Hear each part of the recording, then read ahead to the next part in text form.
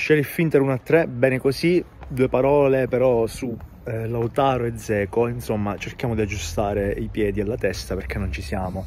Davanti abbiamo avuto lo Sheriff, insomma è vero che è una squadra che ha battuto il Real Madrid, ha battuto eh, lo Shakhtar, però voglio dire eh, sono le classiche squadre meteora che ogni anno spuntano così dal cilindro e fanno la vittoria da, della vita, ecco, quindi è ehm, una squadra modestissima, insomma, che fino a due o tre anni fa neanche conoscevamo, non per questo bisognava sottovalutarla, però, però troppe occasioni nel primo tempo sbagliate, insomma, non mi nascondo che mi sono incazzato parecchio dopo, dopo il primo tempo, perché Lautaro è da almeno 3-4 partite che è completamente inesistente, non va bene, ora abbiamo il derby, quindi cercasse un attimino di di muoversi Lautaro perché così non va assolutamente bene. Non vorrei che insomma finisse un po' come l'anno scorso, anche se poi ha chiuso con, se non erro, 15-16 gol.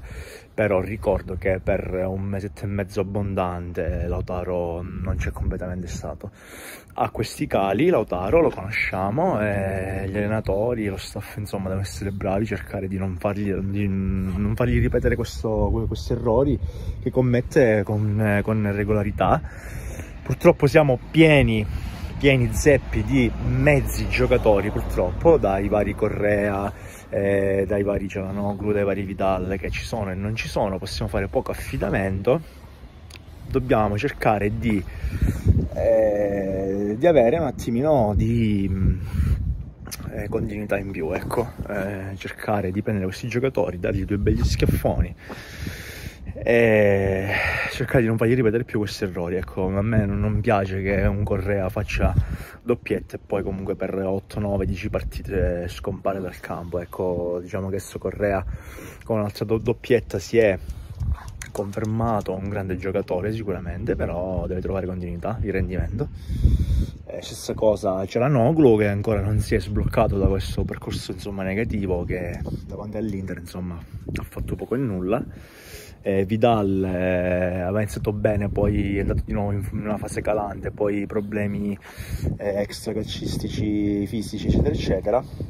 Oggi si riconferma con una nuova partita, insomma, di grandissimo livello. Vidal lo conosciamo, è un grandissimo giocatore. Eh, migliore in campo stasera, tornando alla partita, è assolutamente Brozovic, ragazzi, imprescindibile. L'ho sempre detto, Brozovic è un giocatore su cui l'Inter non può non fare eh, non può fare a meno. E Brozovic eh, cerchiamo di sbrigarci insomma rinnoviamo questo contratto rinnoviamo i Barella Lautaro ancora ufficialità poche però eh, sembra che si dice comunque siano addirittura d'arrivo speriamo bene. Eh, che dire Barella a tutto campo l'unico problema di Barella è che da tutto il primo tempo prende tantissimi colpi e poi comunque rimane rimane mm, a secco per eh, l'ultima mezz'ora di partita quasi sempre, quindi poi diventa poco lucido davanti alla porta, quindi fino a quando secondo me non gli affiancheranno un altro giocatore che fa il lavoro sporco come lui, sarà difficile che Barella possa anche migliorarsi sotto l'aspetto eh, diciamo dei gol. Qualcuno lo paragona a Pellegrini, ma fanno comunque due, due tipi di lavori diversi Barella e Pellegrini Pellegrini si può dire che è un attaccante aggiunto, Barella invece sta tutto campo, tu a Pellegrini non lo vedi a tutto campo, non lo vedi in difesa o a destra e a sinistra del campo o a dare l'anima, ecco, nel senso che per carità è un grandissimo giocatore, lo farà anche, però Barella lo fa per 60 minuti di fila e quindi è normale che poi Pellegrini, essendo che non fa quel tipo di, di gioco davanti alla porta, ovviamente è più lucido, ha più finalizzazione. Ma il ragazzo ancora giovane e si può fare, si può fare, può migliorare tantissimo sotto questo aspetto. Ehm, grandissima partita di, eh, di, di, di Screener, grandissima partita eh, di Bastoni finalmente, eh, ci voleva assolutamente, Bastoni ha iniziato il campionato maluccio, adesso si sta riprendendo piano piano Andanovic che dire incolpevole. Sull'ultimo golletto che era abbastanza evitabilissimo ci siamo forse un po' rilassati troppo.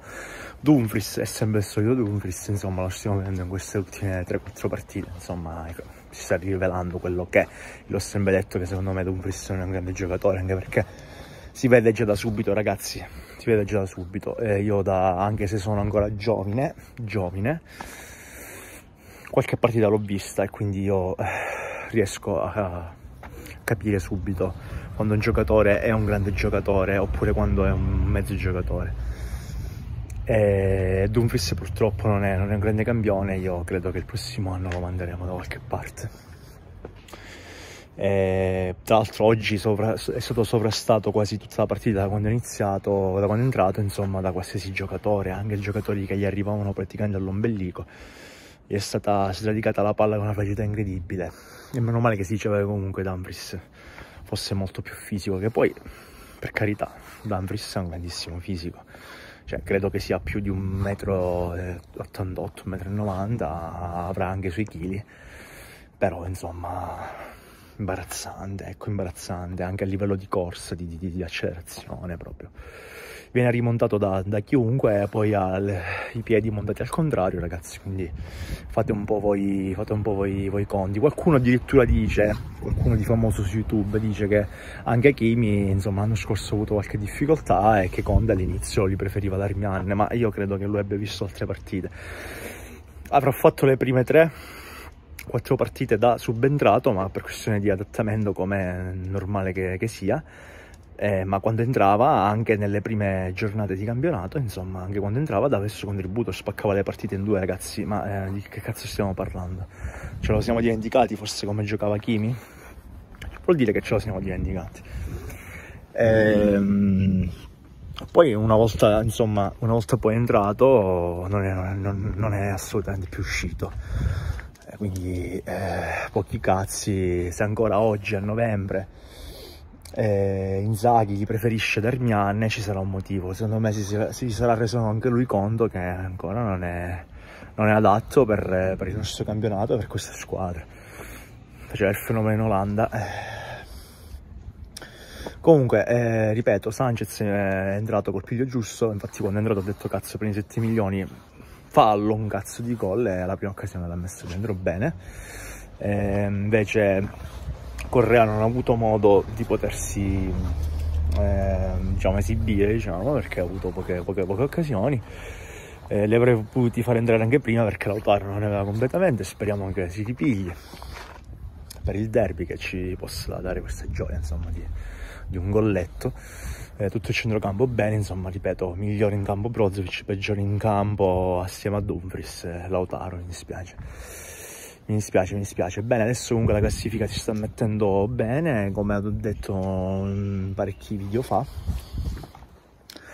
E non dico che è la priorità, però quasi. Dobbiamo andare assolutamente agli ottavi, ragazzi, quindi ce la dobbiamo giocare adesso con lo Shakhtar e poi con le con la Real Madrid, assolutamente, almeno vincere con lo Shakhtar e provare a fare un punticino con il Real Madrid e vedere, vedere, comunque di passare dopo dieci anni finalmente arrivare agli ottavi, che è fondamentale ragazzi, è fondamentale, la Champions League è fondamentale.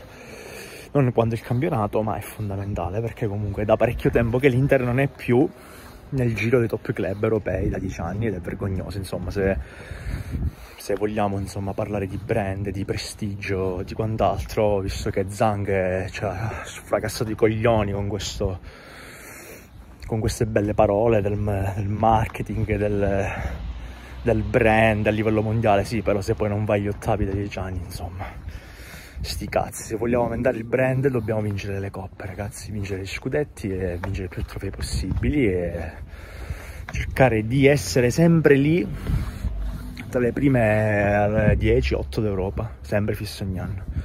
Così il brand aumenta, capisci? Capisci Zanga che dobbiamo andare agli ottavi, capisci Zanga? Mannaggia a te, mannaggia a te, che ci hai mandallato la squadra, mannaggia a te. Va bene ragazzi, condividete il video, iscrivetevi. Scusate per l'assenza di, di questo mesetto praticamente, però non ho potuto fare video, insomma, eccetera, eccetera. Quindi vediamo di riprendere adesso mi raccomando ragazzi iscrivetevi e se avete qualcosa da, da chiedermi commentiamo anche ciao ragazzi ciao ciao ciao